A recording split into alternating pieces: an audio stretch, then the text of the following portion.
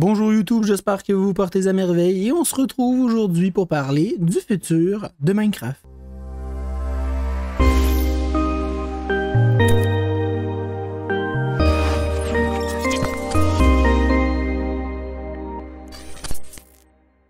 Premièrement, pour ceux qui habiteraient sous une roche, la 1.19 va bientôt voir le jour. Qu'est-ce que la 1.19 C'est la prochaine mise à jour majeure de Minecraft. Et oui, on l'attend maintenant depuis que les dernières snapshots ont très peu de changements et surtout des corrections de bugs. On devrait l'avoir en début juin, donc on l'attend avec impatience.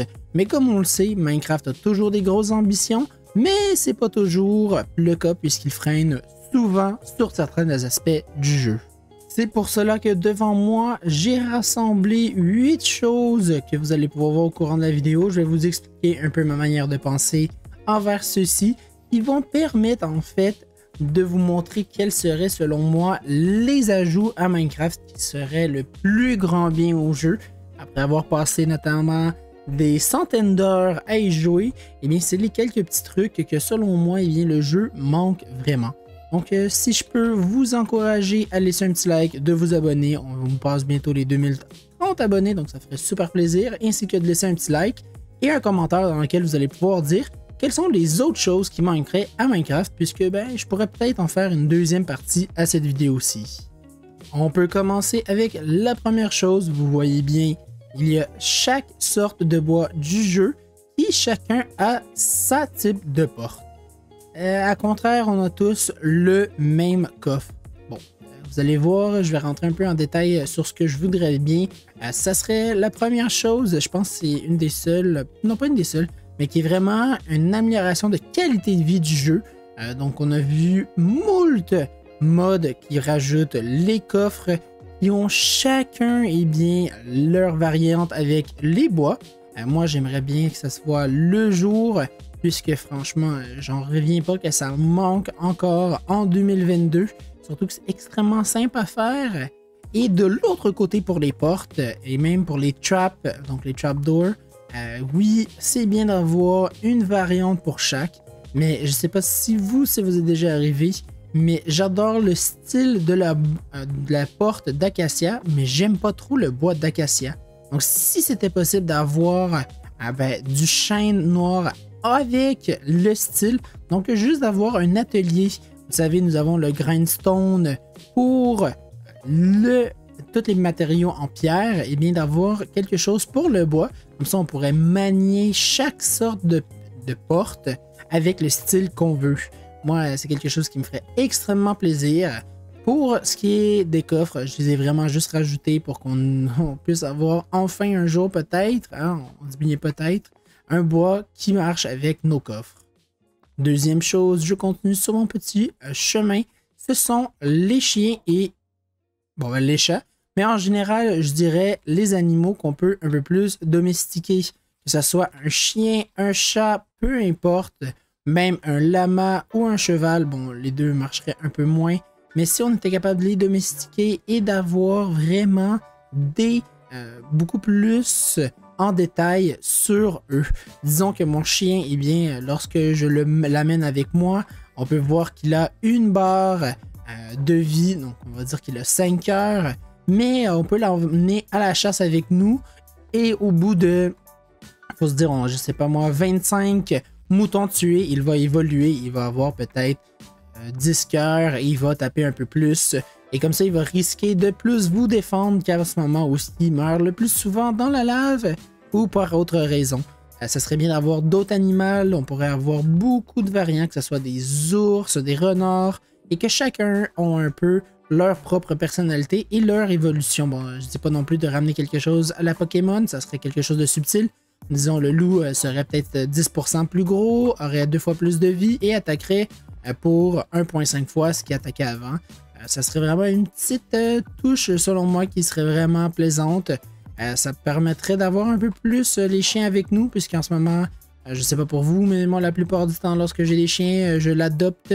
Je l'assieds dans un coin puisque je ne veux pas qu'il meure et il passe le reste de sa vie dans celui-ci, ce qui je trouve assez dommage. Une autre chose, et oui, troisième point déjà, c'est les villageois. ici, on peut voir qu'ils ont un petit habit assez intéressant. Il y a déjà eu une mise à jour majeure sur ceux-ci, mais je trouve que c'est clairement pas suffisant. Euh, j'aimerais vraiment avoir des villages beaucoup plus développés. On est quand même rendu à une époque où est-ce que on peut avoir sacrement de choses à ajouter. Alors, je parle évidemment, on pourrait avoir des villageois de beaucoup plus de variantes différentes, puisqu'en ce moment, euh, s'ils n'ont pas de métier, ce sont tous les mêmes. Et même pour ceux qui ont des métiers, euh, à part ceux qui sont fermés, tous les autres, à ma connaissance, n'ont rien de vraiment spécial. Euh, tandis que ça serait bien d'avoir une spécialité pour chacun, et même d'avoir des villageois qui seraient, disons, défenseurs. Il y a beaucoup de modes qui rajoutent ceci. Ou d'avoir des golems plus différents avec des trades plus intéressants, encore plus variés qu'en ce moment, avoir un écosystème vraiment qui se crée avec des villages euh, beaucoup plus immersifs. Il faut se dire que les, même malgré la mise à jour qui a été quand même assez euh, majeure avec les villageois, eh bien, les villages, eux, n'ont pas eu la même traite. J'ai l'impression de toujours avoir les mêmes depuis leur création, malgré leurs petits changements. Euh, ça reste vraiment arriéré.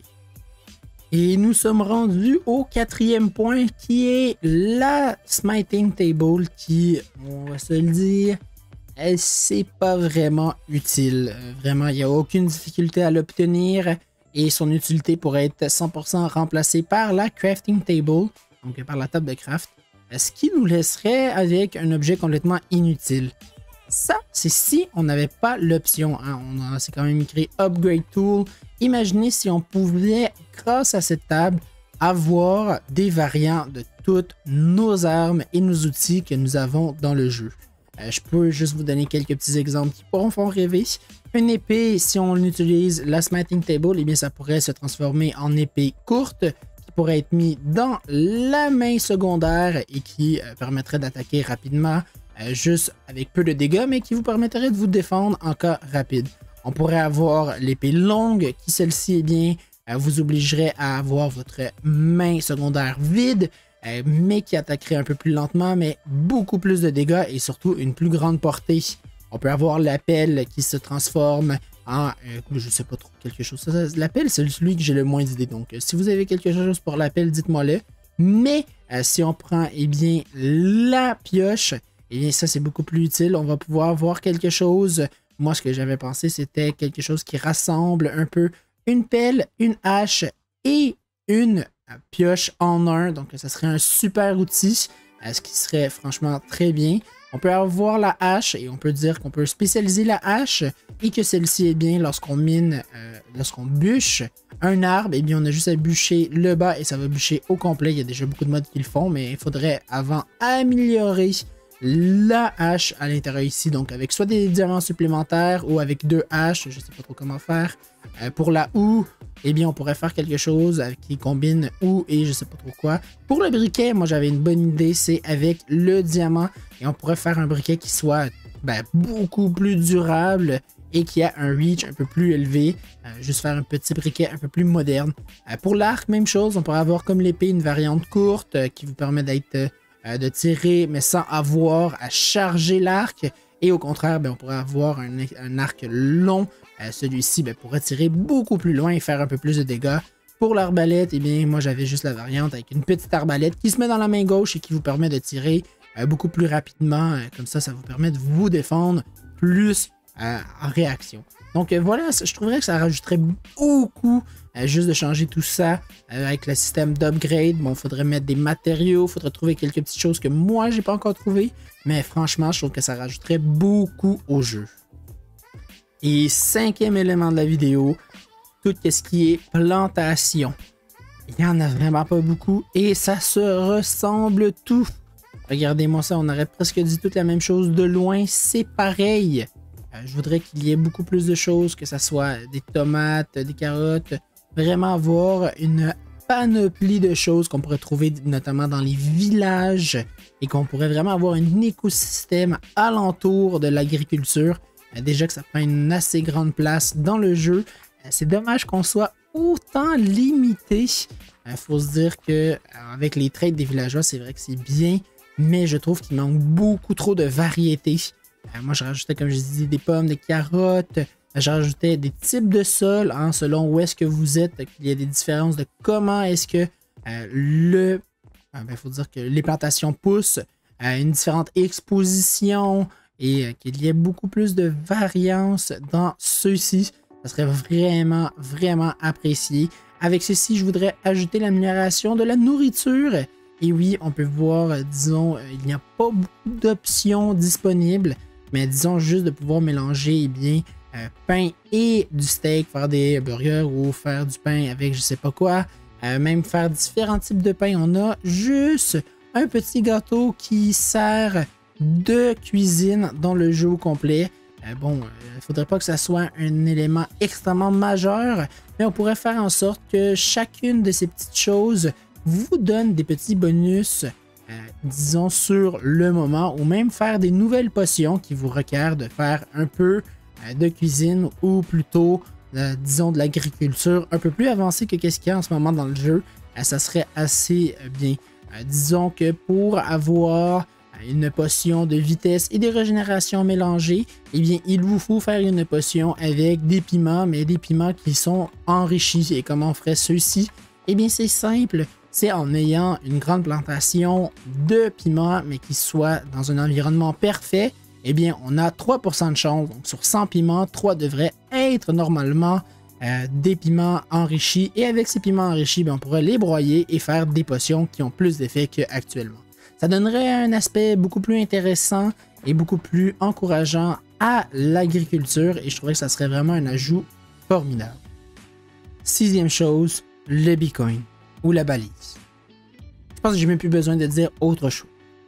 Euh, c'est selon moi une idée parfaite, mais qui est un peu foirée. Euh, en ce moment, c'est très peu utilisé, sauf pour les minages, lorsque on, doit miner un chunk, ou on doit miner quelque chose de très concentré, eh bien, on apporte notre petit Bitcoin euh, avec Haze 2. Mais c'est quand la dernière fois que vous avez utilisé Boost Jump, que ce soit Strength ou que ce soit même Résistance, quand est-ce qu'on utilise tout ça? Euh, je voudrais une amélioration de tout ça. Bon, premièrement, moi, les choses que je changerais, c'est d'avoir une portée qui est au moins le triple de ce que c'est en ce moment. Aller peut-être le double. Mais vraiment, c'est horrible la portée de ceci. Ça rend. En fait, juste mettre la portée x3, ça serait déjà extrêmement utile.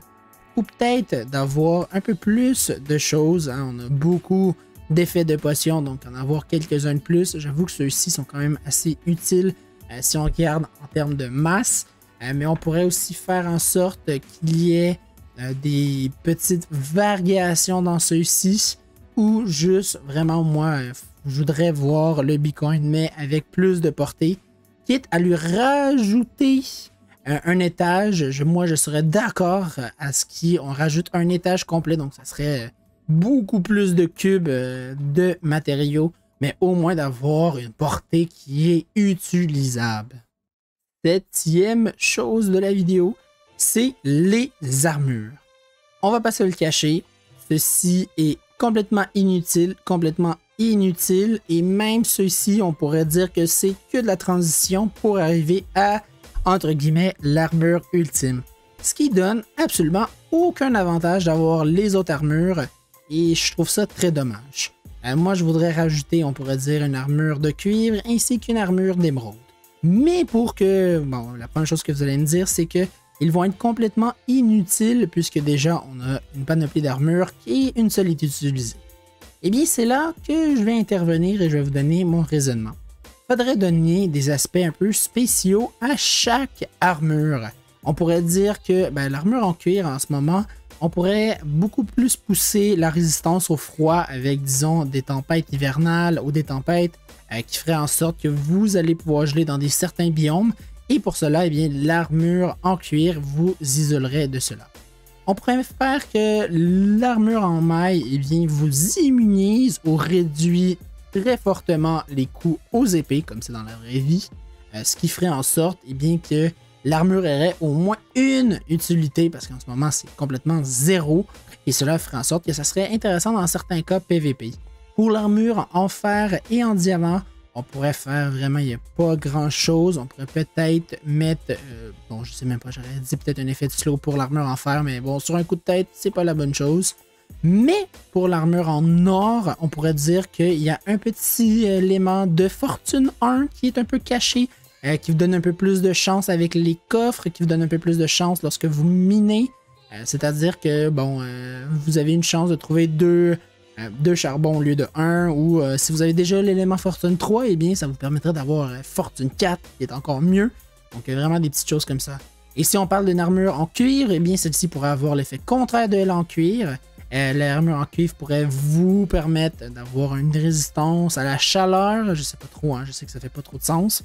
Mais bon, quelque chose du genre. Et l'armure en émeraude, eh bien, d'avoir des trades avantageux avec les villageois ou juste d'avoir quelque chose, une chance qui est à envisager avec celle-ci. Ce qui ferait en sorte qu'on verrait certainement des gens avoir d'autres armures que seulement une armure hybride avec la nézérite et les élytres. Bon, ça ferait un peu de changement qui, selon moi, rajouterait de la qualité de vie qui est indispensable pour un jeu qui pourrait perdurer encore plus dans le temps.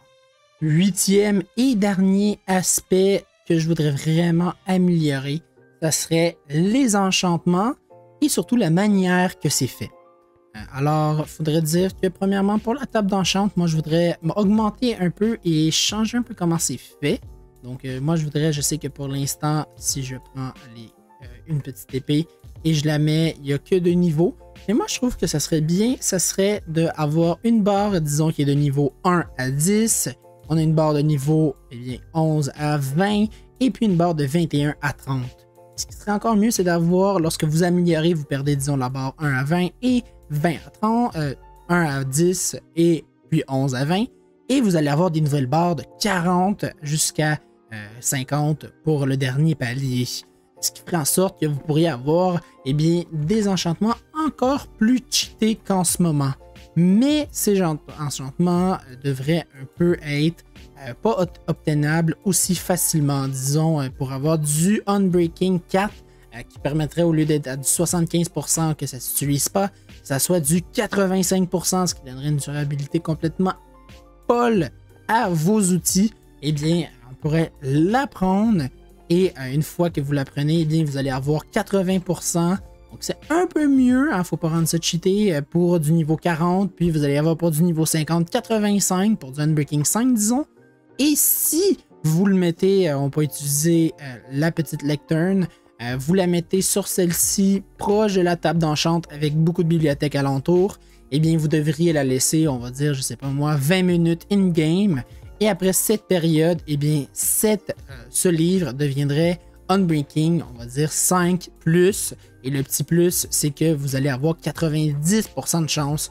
Et ce qui ferait en sorte que avoir Unbreaking 3 comme en ce moment serait très simple et pour avoir le Unbreaking 5 ça permettrait aux gens de devoir grinder beaucoup plus, mais aussi euh, d'avoir des objectifs un peu plus diversifiés. Et comme ça, bien, euh, moi je me dis que rendu à ce niveau-ci, vous le méritez. Si vous avez pris le temps de grinder 50 niveaux, que vous avez, euh, on va dire, enchanté le tout au niveau 50, vous avez perdu 5 niveaux, hein, parce que moi je dirais que niveau de 1 à 10, vous perdez un niveau, puis 2, puis 3, puis 4, puis 5. Vous avez perdu 5 niveaux, puis vous avez passé 20 minutes à attendre obligatoirement pour que votre livre marche. Eh bien, je trouve que vous mériteriez, on peut dire la même chose pour Sharpness ou même pour d'autres enchantements, euh, comme ça des petits variants un peu supplémentaires. Euh, je suis sûr que ça plairait. On pourrait faire, la même chose avec euh, l'élément fortune. Ah, on a fortune 3, puis on aurait fortune 4, 5 et 5 Mais disons que 5 requiert d'avoir l'armure en or en plus. Donc, ça serait quelques petites choses qui, selon moi, ajoutées au jeu, ça permettrait d'avoir vraiment une profondeur extrême au terme des enchantements, euh, ce qui pourrait vraiment changer beaucoup de choses. Et pour limiter un peu euh, l'aspect cheaté, on pourrait euh, se limiter à un item en enchantement plus par, disons, armure ou par outil. Donc, si sur si votre épée a l'élément Unbreaking 5, eh bien, vous n'allez pas pouvoir mettre Sharpness 5. Ok, je suis un peu parti dans des délires, j'espère que vous avez compris. Mais euh, c'était à peu près tout pour le dernier élément. J'espère que celui-ci a été clair, mais vraiment, moi, ça serait quelque chose que j'aimerais beaucoup trop rajouter au jeu. Et nous revoilà au tout début. On a vu absolument tout ce que j'avais à dire. Bon, j'en ai beaucoup plus. Hein. J'ai décidé de me taire un peu puisque sinon la vidéo serait bien trop longue, mais j'espère que ceci, en fait, va pouvoir vous donner des idées et vous allez pouvoir me les communiquer dans les commentaires. Mais c'est beau de rêver de temps en temps quand une mise à jour arrive comme celle-ci. Il y a toujours des belles idées qui m'arrivent en tête. Bon oui, il y a beaucoup de modes de disponibles, mais souvent ça va soit trop loin, soit pas assez loin. Euh, je trouve que les petits ajouts que j'ai notés, eh bien, sont, euh, disons, certainement euh, un peu trop poussés à certains moments, mais aussi très bien à d'autres. Donc, vous voyez ici, mon chemin s'arrête ici. Moi, je vais attendre vos suggestions pour continuer le chemin avec vos idées. Sinon, mais comme à l'habitude, moi, je vous remercie du fond du cœur d'avoir regardé la vidéo. Je vous souhaite une bonne fin de journée, une bonne fin de soirée, mais surtout, vous savez c'est quoi le plus important? Et oui, et à la prochaine!